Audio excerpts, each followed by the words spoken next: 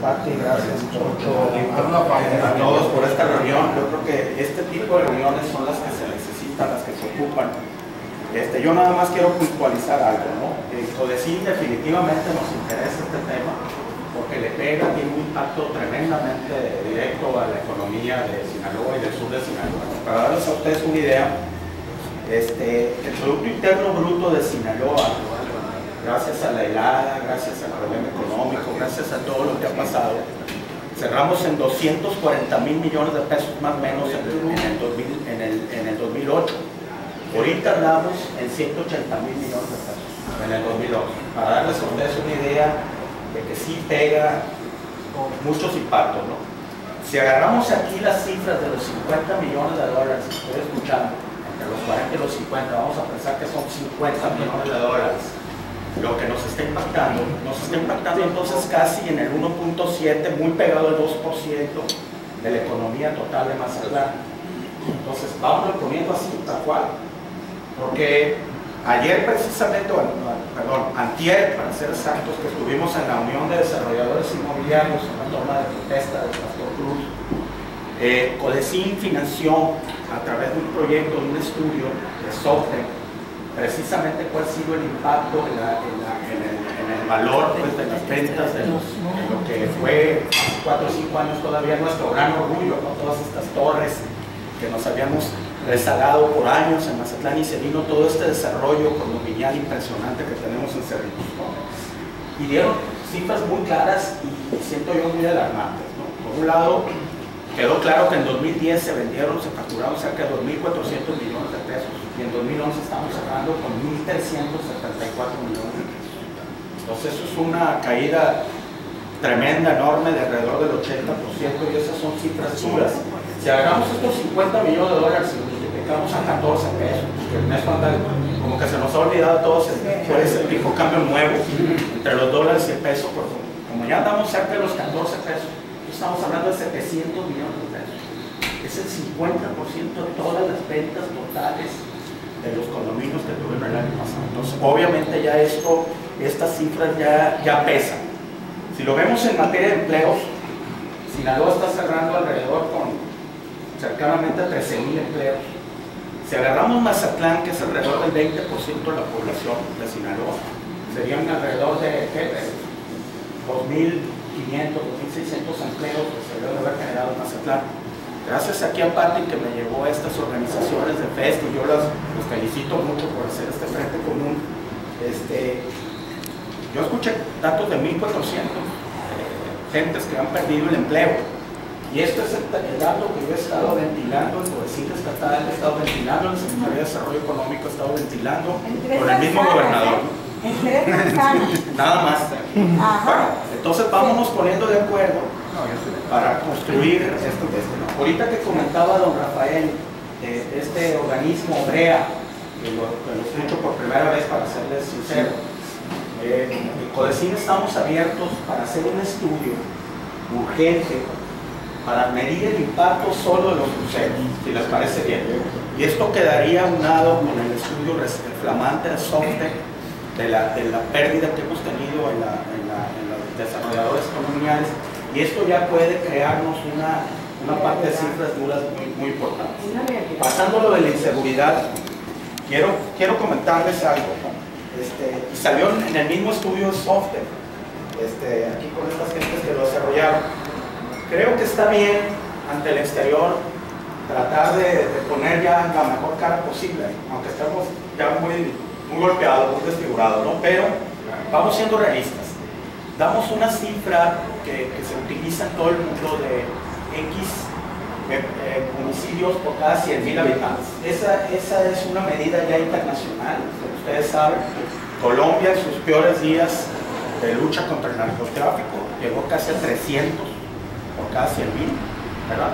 Aquí hay que ser realistas. Estamos utilizando la nacional porque pues, nos conviene. Y la nacional habla de más o menos como 11, 12 eh, homicidios por cada 100 mil. ¿no? Entonces eso como que tranquiliza los ánimos. Pero si lo llevamos a la realidad de Sinaloa, andamos en 74. Esa es la realidad. Correcto. Aún cuando hayamos bajado, y hay que ser correctos, de 2.200, 2.300 a mil pasaditos este año, siguen siendo 74. Okay, entonces yo creo que sí, esto, como lo dijo aquí muy bien este, aquí el señor Omarán, no hay vuelta de hoja que los americanos saben esto, todo el mundo sabe esto. Por más que nosotros digamos, oye, son 10, 11 nada más, pues eso es la cifra nacional. Obviamente nos vamos por regiones.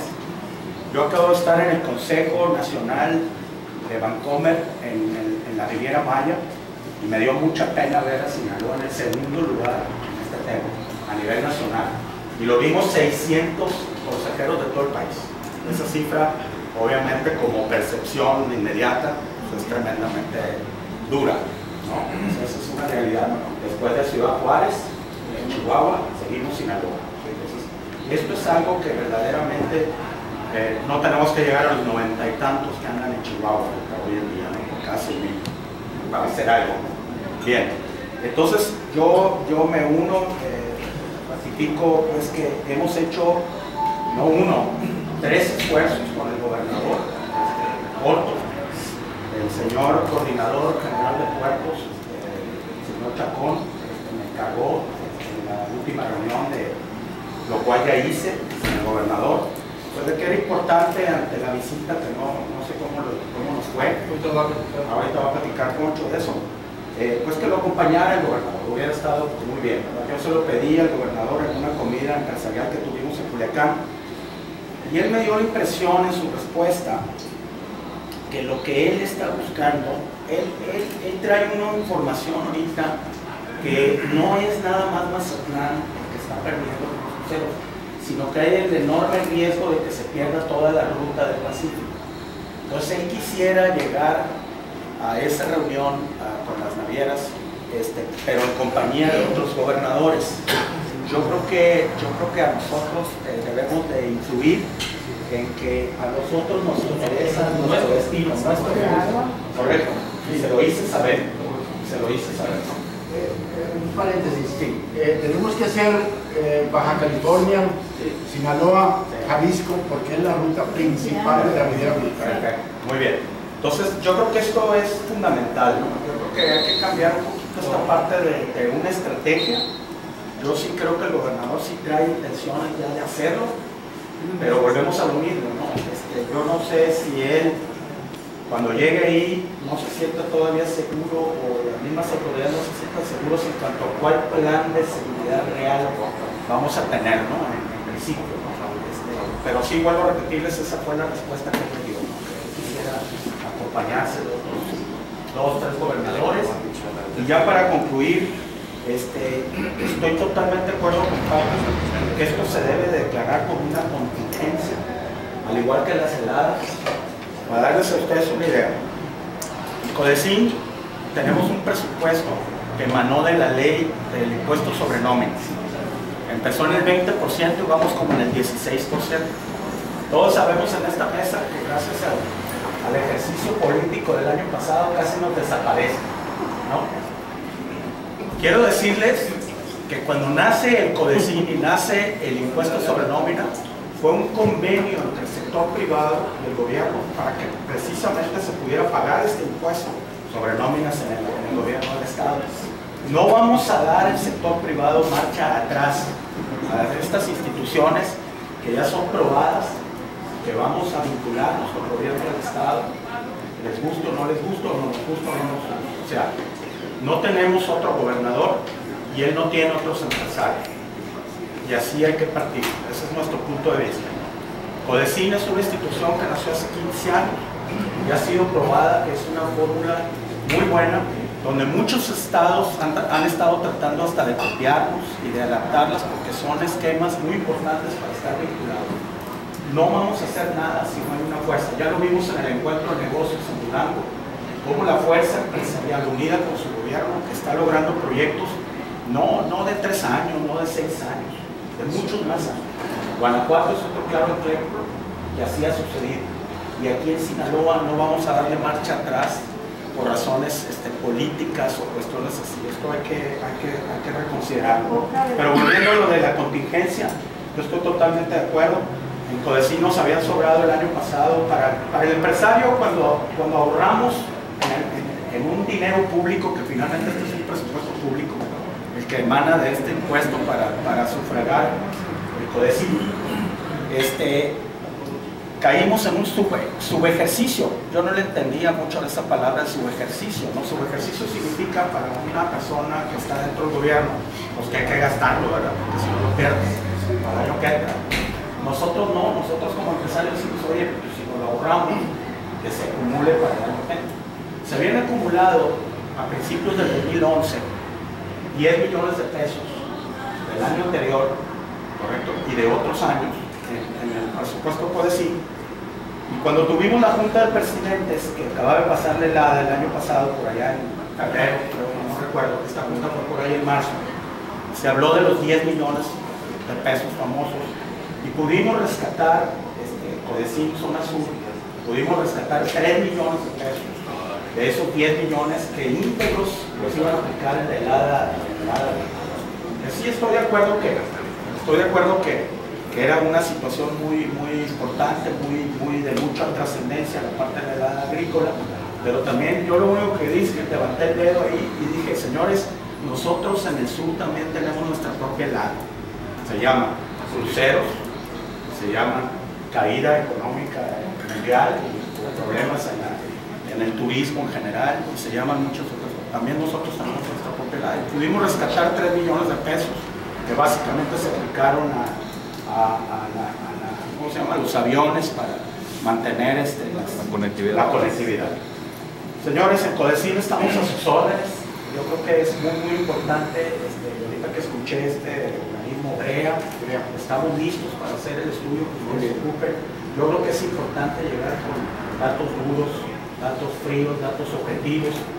Eh, eh, nosotros estamos trabajando y se ha se ha postergado desafortunadamente un estudio del Producto Interno Bruto de la zona sur para que precisamente lleguemos con datos contundentes y no con conceptos, no con conceptos, con datos contundentes, cifras duras. Oye, ¿sabías tú que el impacto de no tener cruceros en Mazatlán, llámese de los años dorados o no dorados, como ustedes le quieren llamar, si llegamos hace 40 años o 50 o menos, yo lo único que digo en mis empresas, y eso siempre se lo reitero cada año cuando arrancamos un ciclo. Nomás no quiero que me salgan señores vendedores y señores este, funcionarios en los presupuestos con que perdimos un programa. A mí no me gusta perder programas. Mazatlán se ganó a pulso que llegaran esos cruceros, que, que viniera esa derrama. Yo nada más le agregaría un ingrediente, ya para concluir. El perder los cruceros no es nada más el dato duro de perder ya hoy en día alrededor del 2% del Producto Interno Bruto Mazatlán más la caída del 30% de los ingresos de APE, etcétera, etcétera, etcétera. Representa también un impacto en la percepción de muchísima gente. Los que hemos tenido oportunidad de hacer un crucero, yo no me puedo imaginar llegar en, una, en un itinerario y decir, oye, fíjate que no vas a visitar siempre tal punto por inseguridad. Eso le genera una percepción. Los cruceros hoy en día se hacen más grandes, con muchos más pasajeros, es mucho más masivo. Y acuérdense de la, de la, publicidad boca en boca, puede ser la más positiva o la más dañina. Y se los dejo porque creo que ese es un dato importantísimo. El hecho que no lleguen los cruceristas generan una dispersión en la comunicación tremenda, tremenda. Tenemos Twitters, Facebooks, todo, donde se pueden eh, enterar miles y miles y cientos de miles de gente en todo el mundo. No se está visitando por parte de los cruceros más. Y gracias otra vez, lo, felicito. Y felicito a Patti por esa organización de, FEST. Y, este, y, lo que podamos hacer o lo poco que podamos hacer en Codecí cuenten Muchas gracias Javier. Y este,